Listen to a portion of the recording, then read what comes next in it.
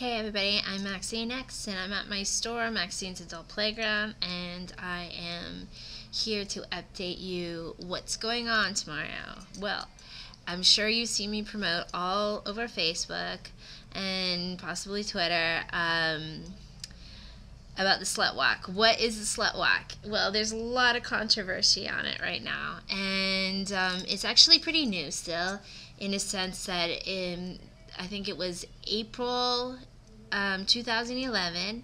They did the Slut Walk in Toronto, and um, it was um, the response after a police officer had come to York University of Toronto and told them um, some tips on how to protect themselves for um, so they don't become sexually assaulted.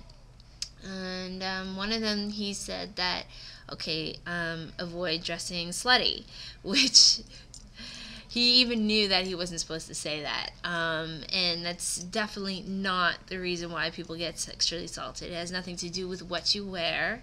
Um, majority of people and survivors who have been sexually assaulted have not were not wearing anything slutty. They were most likely wearing regular clothes. Um, and so it started a big protest in Toronto, and it's on victim blaming. So it's for so many different things. It's really good, actually. I mean, I wrote a speech, and I'm going to even I'll film it, so I'll, I'll have an edit of it. Um, on my profiles and stuff like that for the slut walk. I'll cover cover it with videos and photos and all that kind of thing, and then um, then um, you'll be able to check it out. But you can Google and you can check everything out online. Um, try Googling uh, Slut Walk Toronto and you'll find tons of stuff. If you put it in YouTube, you'll find videos and everything all, talking all about it. I'm going to be speaking um, tomorrow as well. So the plan is that about 5 o'clock in the parking lot behind the Art Gallery of Windsor, um, which is on Riverside.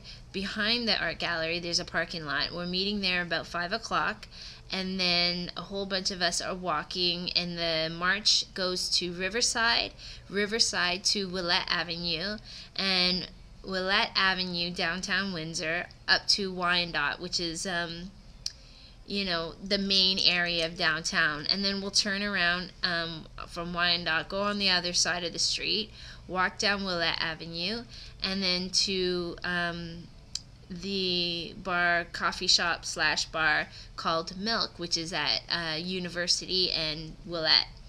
Um, then there's going to be an open mic, so people will be speaking, and um, I'll have a speech, and then people can share their story if they're um, they've been called a slut or if they're a victim of sexual assault.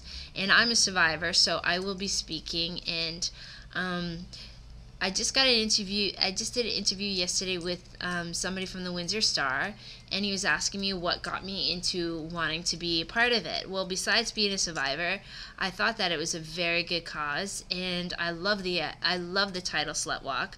See, I'm a fetish porn star, and I've been in it for um, ten years, and um, I felt empowered to do um, fetish, and I feel empowered as a woman um, doing porn.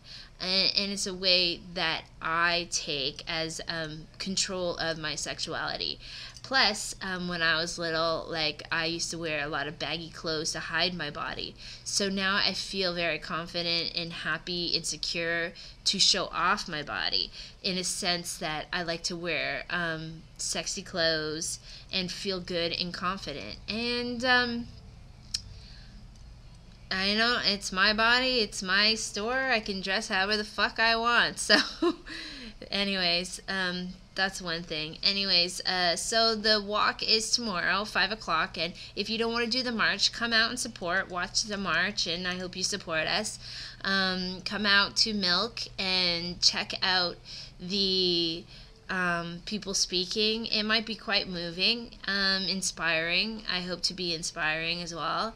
And after that, I'm partying for my birthday at Boom Boom Room. So come out and party because I'm going to really need a party after that. Um, and that's what's happening tomorrow. So check it out. Mwah.